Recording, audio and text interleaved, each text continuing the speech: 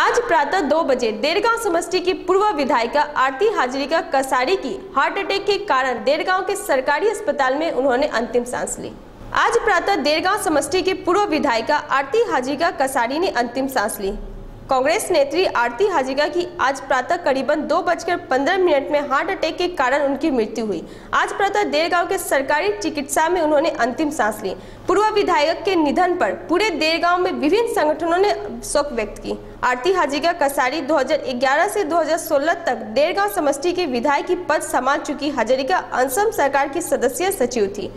वर्तमान में असम प्रदेश कांग्रेस कमेटी के संपादिका के रूप में कार्य कर रहे आरती हाजिका की निधन से देरगांव में शोक की माहौल है ৰাতিপুৱা আজি যেতিয়া মোৰ বন ভাতৃ ইছুফুদ্দিন আহমেদে মোক ফোনত খবৰটো দিলে সঁচাকৈ আমি বৰ মৰ্মাহত হ'লোঁ এইটো নিয়তিৰ পৰিৱেশ আমি সকলোৱে এদিন যাবই লাগিব কিন্তু ইমান অকালতে যে তেখেত ইয়াৰ পৰা আমাৰ মাজৰ পৰা যে আঁতৰি যাব আমি কল্পনাই কৰা নাছিলোঁ তেখেত সঁচাকৈ এগৰাকী খুব সমাজ সেৱিকা আছিলে ৰাজনীতি জীৱনত কি আছিলে মই সিমানখিনি বিচাৰিবলৈ নাযাওঁ কিন্তু আমাৰ ঘৰৰ পদূলিতে আমাৰ চোতালতে তেখেত এগৰাকী এম এল এ আছিলে আমি সেই সাহস লৈ পেলাই আমি আছিলোঁ।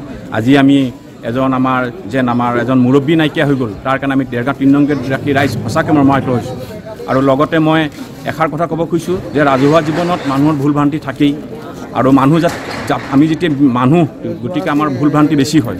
গতিকে মই এই চেনেলৰ জৰিয়তে সমগ্ৰ ৰাইজক অনুৰোধ কৰিছোঁ তেখেতৰ প্ৰতি যদি কিবা তেখেতে অনিচ্ছা স্বত্বেও যদি কাৰোবাক কেতিয়াবা অন্তৰত আঘাত দিছিলে বা কিবা নক'বলগীয়া কথা কৈছিলে আজি এই সুযোগত তেখেতসকলে যেন ভগৱানৰ ওচৰত মাফ কৰি দিয়ে।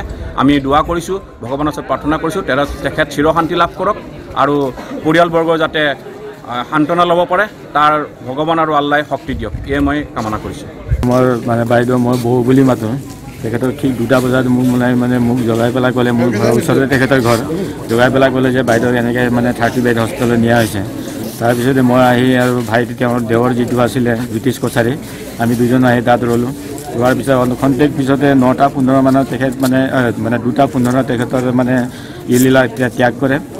যেতিয়া আমি খবৰটো পালোঁ ঘৰত ৰৈ আছিলোঁ। আমি গোটেইখিনি পূজা কৰি তেওঁৰ দেৱৰ আৰু মই মিলি পেলাই মানে হেৰি কৰিলোঁ। তাৰপিছত তেওঁৰ ডেড বডি আহিলে। আমি देरगांव से अनूप कुमार राय की रिपोर्ट असम व्यू।